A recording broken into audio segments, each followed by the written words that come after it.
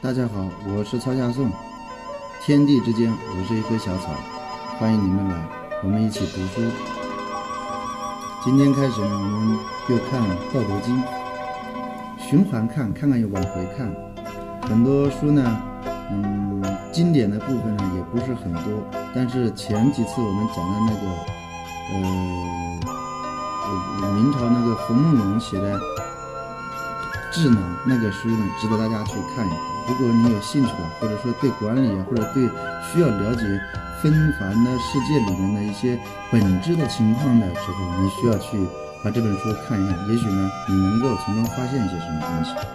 嗯，我们不是并不是现在不讲了，以后都不讲了，而是说暂时停一停。而且事实上，嗯，我接呃接受了一些网友的建议，我对那个嗯做了一些。嗯，类似于备课一样的，做了一些列了一些提纲在上面。以后我们再讲。从今天开始呢，我们又回到讲《道德经》这个上面，经常换一换口味呢，嗯，不至于让让自己呢就是觉得很枯燥，包括听众呢也不会觉得很枯燥。前面有一个视频里面，我录好了一个视频，说，嗯，看《道德经》的话需要十二种能力。和基础和认识，讲了十二个，但我不知道我现在还能不能记起来，啊，不知道我现在还能不能记起来这十二个，嗯，应该是记不起来，我就大概就讲了。如果说你试图去看这个《道德经》的话，你试图去看的话，如果你没有一些基础的能力的话，我建议你就不要看，那你就把我这个视频拿去来回的听就行了，应该对你比你个人去看要好得多，因为呢。嗯，可以断定的是，在我心目中可以断定的是百分之一百的，没有一个是准确的，没有一个是准确的。我大概的就讲这十二、这十几、这十种能力吧，大概是哪些呢？第一就是说最简单的，你得会文言文的理解能力，文言文的理解能力。你不会艰难简单的这个文言文功底的话，那你可能就很麻烦。你完全看他们写的这个注注注释的话，这个是很搞笑的一件事情。啊，他们这些注释我也看过，我几乎就是把他们的，我这里还有一本，他们注释我几乎全部否定掉了。这是另外一本新的一本书，几乎全部都否定掉了。嗯，没有意思，他们根本就不了解，对吧？第一个呢，就是你要会一些。基础的文言文啊，基础的文言文，但这个基础的还不行，还是有点相当高的文学文言文功底。基础的说的太太委婉了。再一个来说的话，你要知道这是这本书呢，它是写给谁看的？它是写给皇帝看的，不是写给普通人看的。所以你去看的时候呢，第一你会觉得没有什么用，第二呢你也不理解。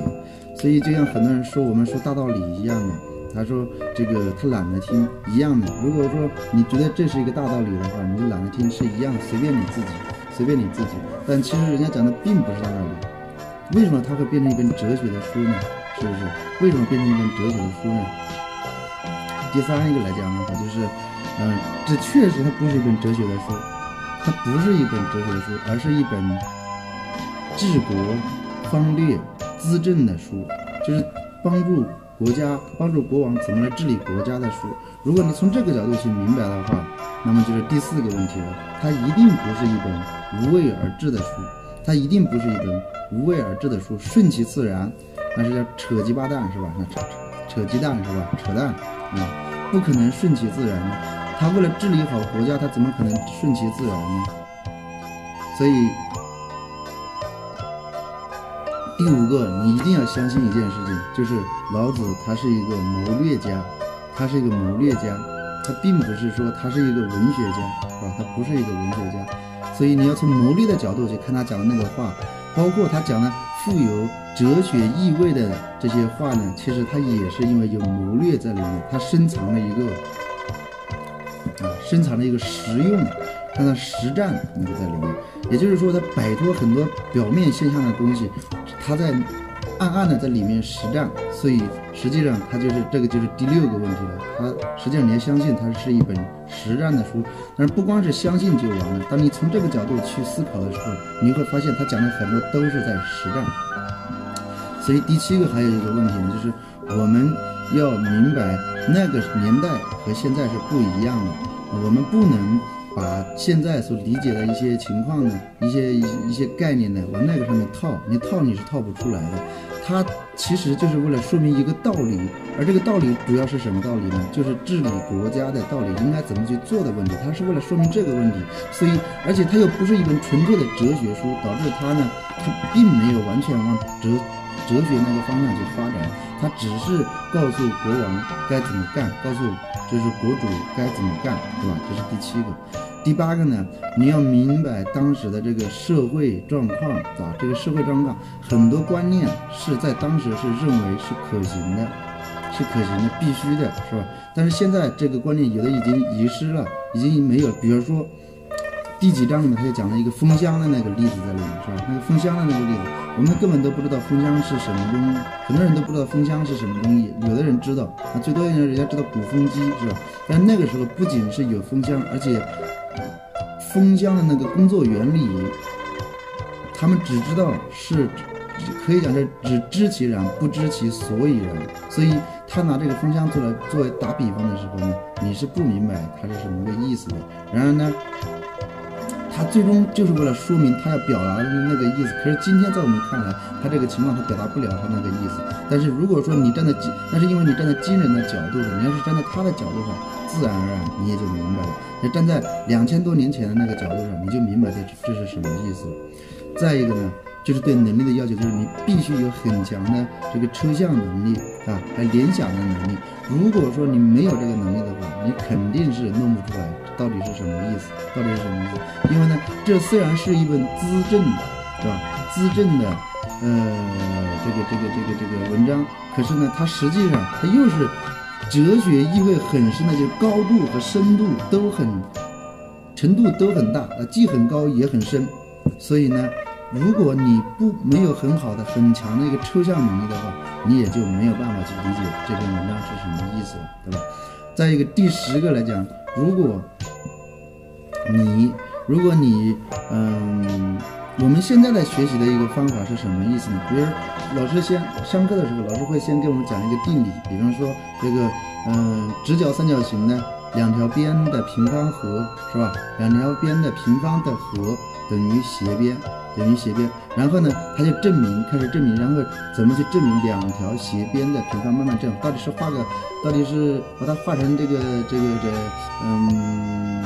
反正通过各种方法来证明嘛，最后证明出了一个结果出来了，是两条直角边的平方等于斜边。但是它不是这个思维，它不是这个思维，它是告诉你一个道理，然后让你到现实生活中去寻找有没有这种例子。如果现实生活中有这个例子的话，那就是叫证明它的存在，也就是证，他们就说。就正伪还是正真啊？是不是这样子的？这是两个相反的思路在里面。如果你是打算，你以为他给你讲了一个事情，然后是又讲了下面一个例子，你以为那个例子是证明他的话，那告诉你这个是证明不了的。因为呢，他是先讲这个大道理，道理讲在前面，然后你需我们需要干什么呢？我们需要从他这个道理出发，然后在生活中找这个例子来比着来验证他这个道理。如果验证的是对了的话。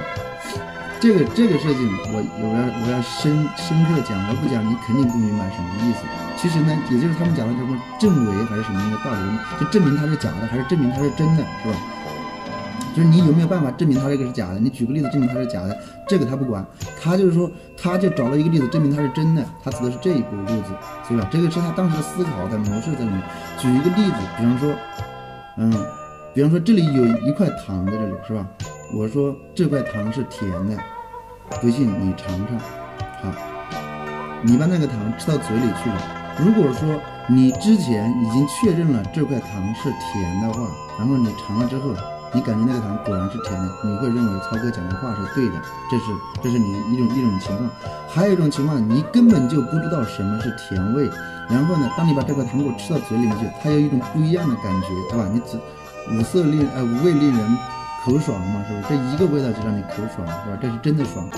你吃到嘴里面去之后，之后你会发现呢，这个呃味道还不错，味道还不错呢。然后你就你就觉得哦，原来这种味道就是甜的。然后难怪曹哥讲的那个甜的就是这个味道。